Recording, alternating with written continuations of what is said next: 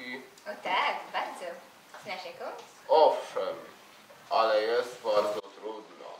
Bardzo niewielu ludzi potrafi ją rozwiązać. To dobrze. W takim razie ja ją zapamiętam, a potem opowiem swoim przyjaciołom. Okej. No to słuchaj. Pod jednym dachem mieszka trzech braci. Wcale to jednak nie są. Lecz kiedy chcesz ich porównać ze sobą, wszyscy są, zda się, tą samą osobą. Pierwszego nie ma, dopiero się zjawi. Drugiego nie ma, bo wyszedł już za drzwi. Jest jeszcze trzeci, najmniejszy z nich, nikły, lecz tamtych bez niego nie było nigdy. A jest ten trzeci dla nich jakże cenny, w drugiego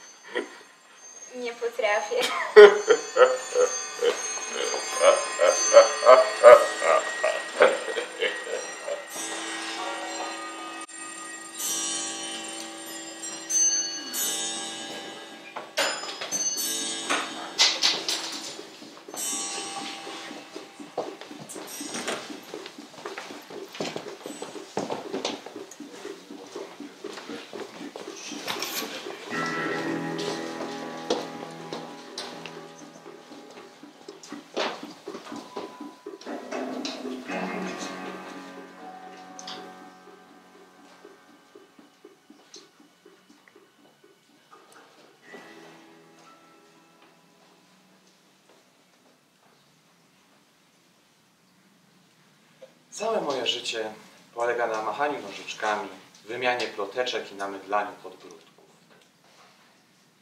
Co ja właściwie mam z tego życia? Kiedy umrę, będzie tak, jakby mnie nigdy nie było. Całe moje życie jest jedną wielką pomyłką. No bo kim ja jestem? Zwykłym fryzjerem, nikim więcej. Gdybym mógł wieść prawdziwe życie, zostałbym zupełnie inną osobą. Jednak na prawdziwe życie trzeba mieć czas, a nie mam go z powodu pracy.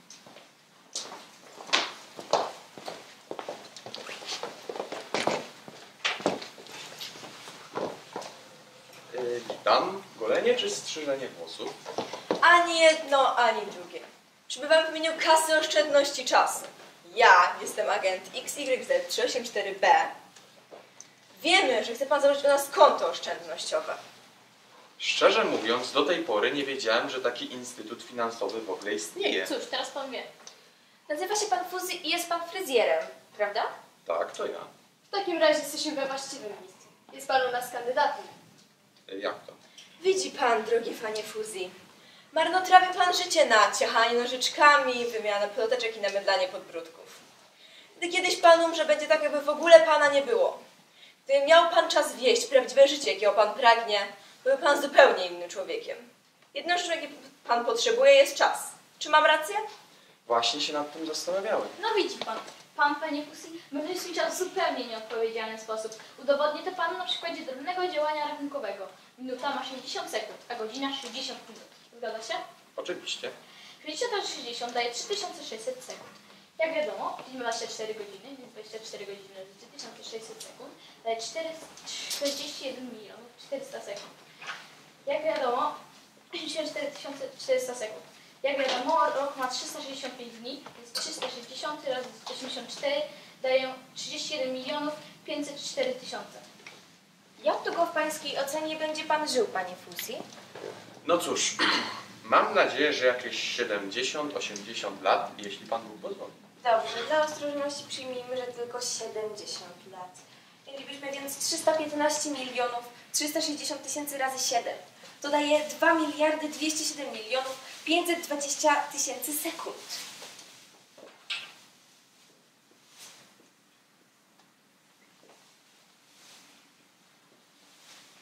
To jest, panie Fuzy, majątek, jakim pan dysponuje. Nie wiedziałem, że jestem taki bogaty. Taka liczba robi wrażenie, prawda? Ile ma pan lat? 42. Jak długo śpi pan przeciętnie w nocy? Mniej więcej 8 godzin. 42 lata, 8 godzin dziennie, to daje 441 milionów 504 tysiące. Tę sumę chyba spokojnie można uznać za straconą. Ileż musi być między tam codziennie na pracę?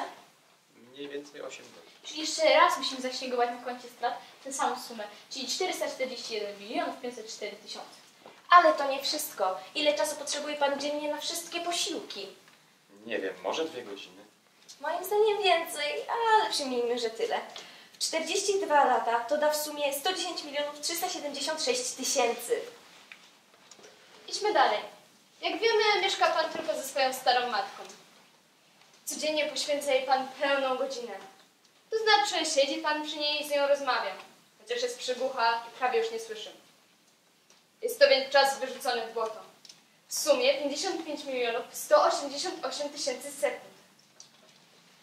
Tego wiemy, że raz w tygodniu chodzi pan do kina. Raz w tygodniu uczestniczy pan w próbach chóru. Ma pan stolik w restauracji, którą zjada pan dwa razy w tygodniu. Pozostałe wieczory spotyka się pan z przyjaciółmi, a nawet czyta książkę. No i zajmuje się pan swoją papuszką. Bezużytecznie zabija pan czas i to około trzech godzin dziennie. Źle się pan czuje? Zaraz kończymy, ale musimy umieć jeszcze pewną pana tajemnicę. O tym też wiecie? Myślałem, że oprócz mnie i pani Darii, W naszym nowoczesnym świecie tajemnice nie mają czego szukać. Proszę spojrzeć na sprawę realistycznie, realistycznie panie Pussy. Niech pan mi odpowie. Czy zamierza pan poślubić pannę Darię?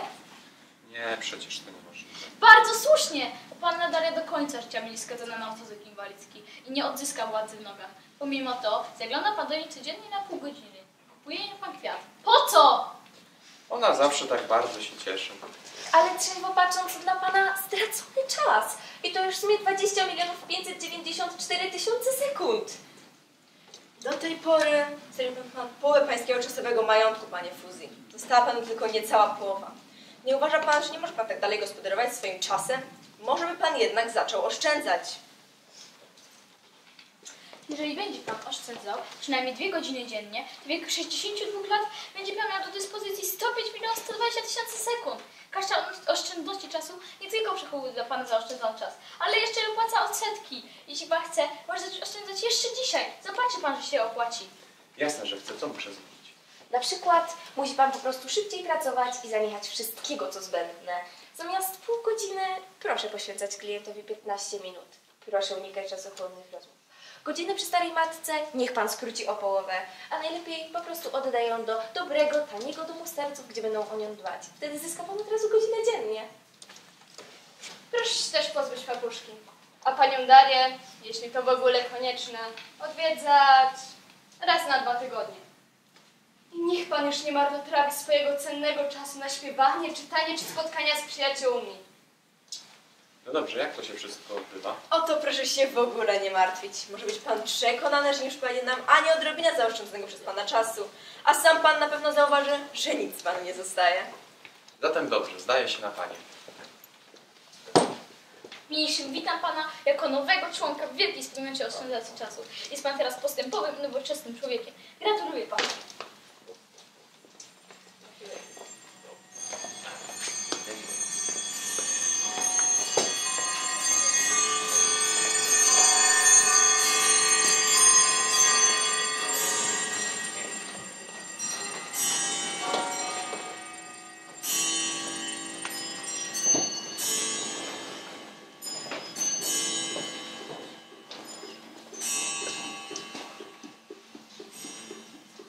Jedyne, co się w życiu liczy, to coś mieć, kimś zostać, coś osiągnąć. Komuś, kto osiągnie więcej, zostanie kimś znaczniejszym i będzie miał więcej niż inni. Cała reszta przychodzi sama. Przyjaźń, miłość, honory i tak dalej. Pewnie powiecie, że najważniejsze to mieć przyjaciół i być im potrzebnym. Po pierwsze, nasuwa się pytanie, co właściwie wasi przyjaciele mają z tego, że w ogóle istniejecie? Czy mają z tego jakąś korzyść? Nie. Czy pomaga im to więcej zarabiać albo zrobić coś ze swoim życiem? Na pewno nie. Nie popieracie ich wysiłków w celu zaoszczędzenia czasu? W takim razie, jeżeli nie chcecie, by zaoszczędzali swój czas, jesteście ich wrogami. Przyznajcie sami, trudno to nazwać przyjaźnią. Dlatego my musimy chronić waszych przyjaciół przed tymi, którzy nie rozumieją, że czas należy oszczędzać. To my jesteśmy ich prawdziwymi przyjaciółmi. Nie potrafimy się przyglądać w milczeniu, jak niektórzy odciągają ich od tego wszystkiego, co ważne. A pamiętajcie, że z kasą oszczędności czasu nie ma żartu. Musimy jednak uczciwie przyznać, że jest wśród Was jedna osoba, której naprawdę się boimy. To pewna dziewczynka nazywana Momo. Niestety, ma ona tyle czasu, ile tylko zechce. Nie chce go nam oddać. Dzieli go z innymi. Nie ma sensu przekupywać jej czymś, co posiada w nadmiarze. Mam jednak pewien pomysł. Zastanówmy się, panowie i panie, co, jeśli po prostu nie pozostałby już nikt, z kim mogłaby ten czas dzielić. A, rozumiem. Ponieważ ona nie poprze dobrowolnie naszych planów, powinniśmy zainteresować się bliżej jej przyjaciółmi. Właśnie tak! Do roboty!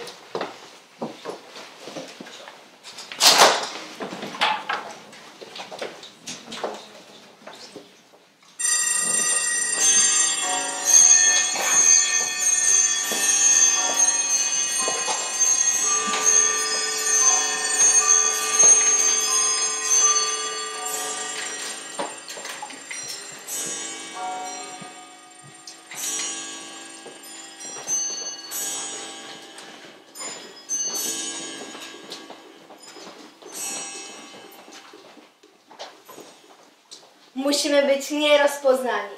Nikt nie może wiedzieć, że istniejemy i co robimy.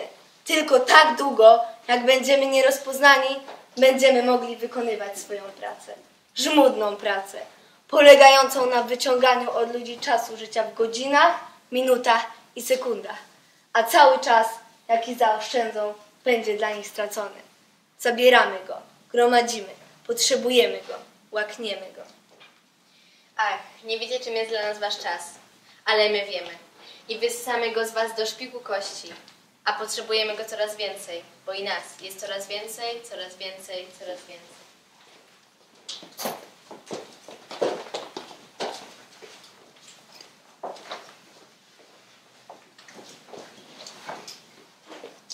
Przepraszam pana.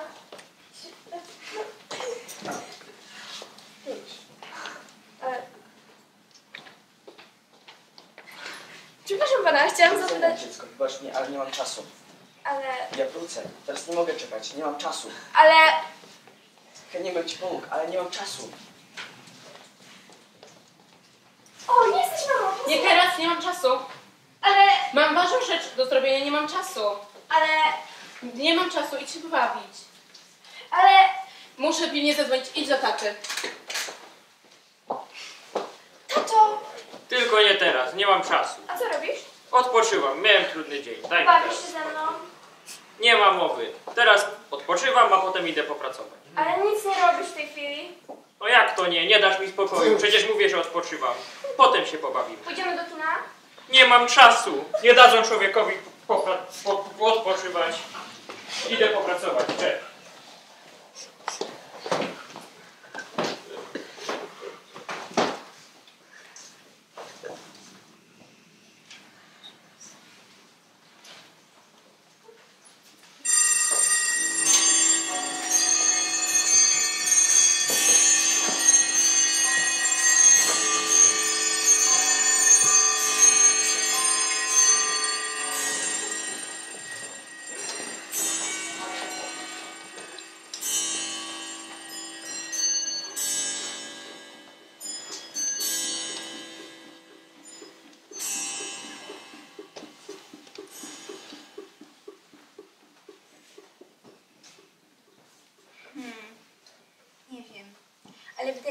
Nasi przyjaciele zaglądają do nas coraz rzadziej. Oj tak, też to Niektórych zauważyłem. już dawno nie widziałam. Ja też to zauważyłem. Ale co zauważyłeś? No... Nie mają czasu, no normalnie. Nie przychodzą tutaj. Tak, to prawda, coś się zbliża. W mieście jest już wszędzie. Już dawno rzuciło mi się w oczy. Ale co takiego? Nic dobrego, robi się zimno. Hej! Cześć! Gigi, opowiesz nam coś? Wolałbym, żebyście wy opowiedziały mi o sobie, o waszych domach i co robicie. Ja mogę teraz codziennie chodzić do kina, jeśli tylko mam ochotę. Muszę być pod opieką dorosłych. Rodzice nie mają czasu, by ze mną pójść. Ale ja nie chcę chodzić sama do kina, dlatego potajemnie przychodzę tutaj i oszczędzam pieniądze. Gdy będę miała ich dużo, kupię sobie bilet i pojadę do Krasnoludu. A ja mam 11 płyt z bajkami i mogę ich słuchać tyle razy, ile chcę. Dawniej tato opowiadał mi coś zawsze wieczorami, gdy wracam z pracy. Ale teraz no, ciągle go nie ma w domu, albo jest zmęczony i nie ma ochoty. A twoja mama? Jej też teraz zawsze nie ma w domu przez cały dzień. Ja to tam się cieszę, że rodzice nie mają już dla mnie czasu, bo inaczej zaczynaliby się od razu kłócić. Ja za to dostaję teraz o wiele większe kieszonkowe niż dawniej. No właśnie, oni chcą się nas pozbyć. Oni już nas nie lubią, ale siebie też już nie lubią. Niczego już nie lubią. Takie jest moje zdanie. To nieprawda, mnie rodzice bardzo lubią. To nie ich wina, że nie mają czasu. Tak po prostu jest. Za to dali mi w prezencie laptopa i słuchawki z MP3. To bardzo drogie sprzęty. To chyba dowód na to, że mnie lubią, nie? A moi rodzice powiedzieli, że z was to tylko lenie i próżniaki. I kradniecie czas Panu Bogu. Tak powiedzieli. Dlatego macie go tyle. A że takich ludzi jak wy jest coraz więcej, to inni ludzie mają coraz mniej czasu. Mam tu już więcej nie przychodzić, bo w przeciwnym razie będę taka sama jak wy. Wy wierzycie w to, co o nas mówią? To nieprawda, nie ukradłem Panu Bogu ani żadnemu z bliźnich, ani odrobiny czasu, przysięgam. Ja też nie! Ja też! Opowiem wam coś. Dawniej ludzie przychodzili do Momo, żeby ich wysłuchiwała i sami się przy tym odnajdowali, jeśli, wie co, jeśli wiecie o co mi chodzi. Ale teraz, teraz to nie jest już dla nich takie ważne. Dawniej też ludzie przychodzili do mnie, aby posłuchać, co mam do powiedzenia i słuchając, zapominali o, ty- o sobie. Ale to też nie jest, straciło dla nich ważność. Coś się dzieje. Zauważyłem, ostatnio byłem w mieście i zauważyłem mojego starego znajomego, fryzjera o imieniu Fuzi. Mało brakowało, abym go nie poznał. Odmieniony, markotny, marudny, jakiś taki odosobniony. Dawniej był bardzo sympatycznym człowiekiem. Umiał ładnie śpiewać i miał oryginalne opinie na każdy temat. Teraz jest zupełnie jakby cieniem samego siebie. Jakby to doty- dotyczyło tylko jego, pomyślałbym, że pomieszało mu się w głowie. Ale takich ludzi jest coraz więcej. Oni są wszędzie. Jeśli chcecie dowiedzieć się, jak wygląda świat, w którym agenci skupują od ludzi ich czas, Jeśli chcecie dowiedzieć się, jak wygląda świat, w którym ludzie nie mają już na nic czasu, z wyjątkiem pracy i zarabiania pieniędzy, jeśli chcecie dowiedzieć się, co się stanie, jeśli zrezygnujecie z bycia dla innych, jeśli chcecie dowiedzieć się, jaką rolę odegrała w tej historii niezwykła dziewczynka, Momo, jeśli chcecie dowiedzieć się, jak wygląda prawdziwa przyjaźń, Jeśli chcecie dowiedzieć się, jak ocalić to, co najważniejsze, zapraszamy na wiosenną premierę spektaklu pod tytułem Złodzieje czasu! Zapraszamy!